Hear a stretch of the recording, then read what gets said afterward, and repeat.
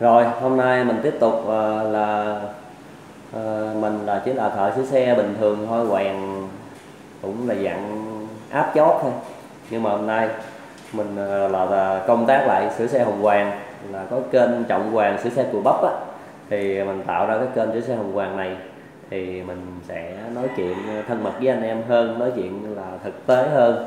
Cho nên là hả sự thật mất lòng thì à, ai mà có uh, sử dụng chiếc xe đó thì cũng uh, chiếc xe xe máy á. Mà mình đang chạy mà mình chê thì anh em cũng uh, thông cảm bỏ qua. Còn cái mình sẽ nói ưu điểm nhược điểm của hãng xe loại xe rồi á. Cho anh em xem thôi thì hôm nay mình sẽ nói với anh em là một một cái uh, uh, chủ đề là hãng SYM là có thực sự tốt hay không. Uh, về ờ, cái ờ, những cái xe máy của SYM tốt hay không ờ, và nó sản xuất cái dựa trên cái gì? Thì bây giờ mình sẽ nói với anh em cho anh em được sáng tỏ phần nào. Thì anh em biết là hãng SYM là rất là nhiều ha. Thì xe Đài Loan SYM là xe Đài Loan thì ví dụ như là những xe là Attila nè rồi Elizabeth rồi Victoria lấy những cái tên những cái nhân vật nổi tiếng không? Attila là cũng là nữ thần ờ, là dạng mà cũng lãnh chúa vậy đó không? Hoàng hậu gì đó không? Elizabeth Victoria gì đó. Rồi tầm lâm hết á. Nói chung là vậy.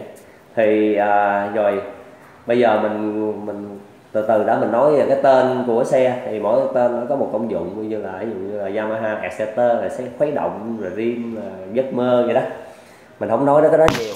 Thì bây giờ mình nói tới chủ đề là của à, hàng SYM thì SYM á, thì nó là đi sau công nghệ của các hãng xe khác thôi, chứ không đi trước đây là mình thí dụ như là SYM là nó có những chiếc xe nào ngày xưa nè như là những cái xe SYM á là bên Campuchia rất là nhiều rồi đó là là dạng là xe Sang Giang á. Sang Giang mô tô là nó viết tắt của SYM á nè. Sang Giang Y á là chữ Giang á. Còn em á là mô tô Sang Giang mô tô thì ngày xưa nó có những cái chiếc là mô nước uh, Sang Giang ở bên uh, nước ngoài rất là nhiều. Nó giống như cánh én rồi bảy tám rồi nói chung Sang Giang đèn vuông DH rồi rất là nhiều thì cái xe đó là nó nói chung là đồ của nó đó, những chiếc xe sang giang ngày xưa mà bên campuchia về ở giấy ờ, nhận ngoằn ngoèo á ờ, cà rum cà tâm gì đó. Giấy nói chung là ngoằn ngoèo như chữ lào, chữ campuchia rồi đó. Thì là những xe đó là ngày xưa là nếu mà mình mua cái xe đó rất là rẻ nè tôi nói nhà bèo như sang giang á là chỉ cần là, hồi xưa là một, hai chỉ vàng là có thể là mua được một chiếc xe đó nhưng mà chất lượng nó là hơn chiếc xe Trung Quốc mình nhập qua nha hoặc là bằng chiếc xe Trung Quốc hồi xưa là uh, Minh Long Xin Trung Quốc Califan Trung Quốc mà loại mười, mười mấy hai chục triệu á. Là chất lượng nó là rất là tốt. Chứ anh em đừng có nghĩ xe sang Giang là bèo máy móc nó rất là tốt anh em. Nó không bằng xe uh, Nhật thôi nhưng mà nó rất là tốt. Thì SYM nó sản xuất dựa trên cái tiêu chí là nó nhái các hãng này. Nó nhái các hãng thí dụ như là bây giờ mình nói là những chiếc xe là như là sang giang mà như là DH rồi đó, thì nó làm giống như Honda, nó thiết kế máy móc giống Honda, rồi kiểu dáng giống Honda, xe dầu gà rồi hồi xưa đó, về cúp rồi đó. Rồi thì sau này nó chế lên là bắt đầu là nó chế ra chiếc xe N trù 80 ha, N trù 80 N trù 80 á thì kiểu dáng nó lại giống Suzuki. Nhưng mà nó chiếc, cái chiếc anh trừ 80 theo mình nó là nồi đồng cối đá vậy nè, nồi đồng cối đá. Chiếc anh trần 80 thời ngày xưa mình không biết giá bao nhiêu, nhưng mà cái chiếc xe đó là nó là công nghệ nó cũng rất là tốt. Bây giờ dàn phục nó rất là tốt nè. Sườn rất cứng, sườn rất là vững vàng gấp rồi rất là vững vàng lốc máy rất là dày. Bơm nhớt rất là mạnh nói chung chiếc anh chùa 80 đó là mình nói là đi đường trường thì vô địch thiên hạ luôn, nồi thì một nồi thôi, chứ không phải là nồi hai nồi có chuông, nồi giống nồi cúp. Nhưng anh chùa 80 đó đó là ngày xưa là nó làm theo công nghệ của Suzuki, ha. Bơm nhớ kiểu Suzuki nè, hộp số kiểu Suzuki nè, nồi thì mình không biết, còn máy móc đồ, nói chung là nó làm rất giống Suzuki, đầu bò cái này cái nọ rất giống Suzuki xe đó rất là tốt anh em. Em trù rồi với lại xe ma rất là em trù hai, em trù bower rồi. Rất là ok. Chạy nồi đồng cối đá luôn. Chứ anh trù mà thậm chí chạy tới bây giờ mà anh em mà chưa làm máy luôn á. Mà trời ơi, nói thiệt anh em chạy máy im ru. Chỉ có sinh cam thai nè, rồi đổ khói đồ, anh em chạy mà để trâu bò quá, để hư, xe nào nó không hư nói chung là chiếc anh trù nó phải so sánh bây giờ là nó so sánh cái chiếc quay alpha thì tội nghiệp nó lắm. Nó phải so sánh với những dòng mà Sirius, Rim Thái rồi nè. Anh trù rất là bền. Cái dòng anh trù rất là bền. Sau này á, thì à, SYM á nó tung ra tới những chiếc anh trù bắt đầu qua tới anh trù power rồi về một nồi. Tới bắt đầu nó qua tới là xe mà giống như chiếc quay của mình á máy ờ, máy quay nhưng mà đồ nó cũng rất là tốt như chiếc elegant đó anh em. Elegant đời đầu nha. Cái đầu nó to to à chiếc ờ, máy thì giống máy quay rim rồi. Rất tốt. Rồi máy giống quay rim rất là tốt anh em. Anh em chạy mà nó thì cái, cái chuông của nó còn nó ghê như chuông quay alpha mà lóc đen mà chữ nổi mà chữ công nè. Cái chữ cho công ờ, mà anh alpha lóc đen đời đầu anh em chạy đi anh em chạy mà 10 năm nếu mà anh em thay nhớ tốt mà không chở nặng đâu anh em chạy xe kiểm thôi. Mở ra cái chuông nó không có gờ luôn anh em. Giống như quen pha lóc đen mình uy tín với anh em luôn. Rồi đồ nó nói chung là đồ nó chạy không thua gì chiếc quen pha đâu em. Rồi sau này nó ra là chiếc uh, Elegant 50 rồi chiếc Elegant mà đèn tròn giống cái đèn trước Attila với lại Vespa rồi đó. Cho học sinh đi học á bô bô túm túm giống như chai siro ho. rồi mấy cái tiếp siro thì cái đó là nó đã lai tạp giữa Honda và Suzuki này nó lai tạp, nó lai tạp. Nói chung là nó cũng lấy công nghệ cái này qua cái kia rồi. Nói chung là qua lăng đề để giống y như Suzuki vậy đây những chiếc anh trù anh em mà có làm SL em biết.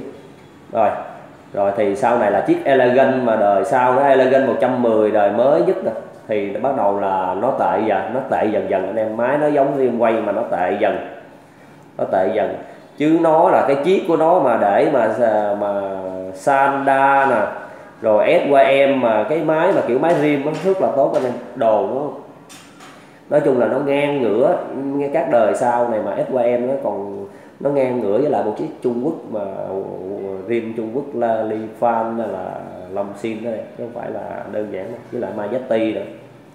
Rồi thì sau này á, là nó nó không còn à, nó không còn nhái cái công nghệ của thằng Suzuki nữa. Nó chuyển qua Attila nè. Attila bắt đầu nó chuyển qua công nghệ tay ga thì Attila của nó là nó đứt bằng nhọn gì đó, Victoria Elizabeth rồi giờ da nút vậy đó. Thì động cơ nó lại giống của Honda. Nó bắt trước nó nhái chữ bay xì vậy nè. Nhái chữ bay xì. Rồi da V nút gì đó Attila đèn tròn bây giờ đó đó, chân bấm gì nó lại bắt chước của ờ, mẫu xe của Piaggio. Như Piaggio là ít. Không? Anh em thấy đúng không? Nhưng mà đồ của SYM có tốt hay không? Ví dụ chiếc Attila đít bằng nè Attila đít nhọn, Attila đồ ờ, đèn tròn đó. Mình xin thưa là đẹp, đồ của SYM là cũng tốt. Hiện tại bây giờ là nó tốt. Cũng tốt. Tại vì anh em thấy xe SYM á là mau lỗi thời là anh em để, anh em chạy. Xe nó kêu một chút rồi anh em để bừa luôn rồi. Thì xe nào mà không hư anh em? Xe nào mà để bừa không hư? Chứ thực tế là xe SYM nếu mà bảo dưỡng đồ đúng cách chạy cũng rất là bền. Anh em ha? Theo mình suy nghĩ như vậy thôi. Còn nói về những dòng anh trù hồi xưa là xe của nó cực bền luôn chế chế lốc máy đồ dữ dằn chứ không phải là đơn giản mà anh em nói là SYM bây giờ đó, mình đại diện cho nó vào một xe con tay bây giờ để nó ờ, giành giật thị phần. Với lại Honda với lại Yamaha rồi nè Suzuki ví dụ Suzuki thì nó có chiếc Acelo uh, ờ, con tay nè rồi uh, Honda thì có uh, ví dụ như là con tay mà dòng phổ thông là ví dụ có những cái chiếc mà MSX rồi gì ở Winner thì quá xa xỉ rồi. Nó chỉ bắt chước thì là một chiếc 125 thôi và con tay với 110 rồi, là Acelo nè, rồi bên ờ, thì SYM nó ra là, nó mới ra chiếc Star Star con tay, động cơ là làm như cũng 125 xe đó mình đánh giá là cũng rất tốt, mình đã chạy rồi, máy móc rất im nó sử dụng cơ cấu sên cam là thằng lằn đè ngày xưa nó đã, nó chuyển sang mấy chiếc elegant rồi ờ, á, là nó đã xài ờ, cơ cấu sên cam là kiểu ống sáo giống Honda rồi ống sáo bánh su lồng. Bây giờ nó chuyển sang cơ cấu sên cam thằng lằn đè. Rồi, động cơ rất là mạnh nha anh em chạy rất là ok.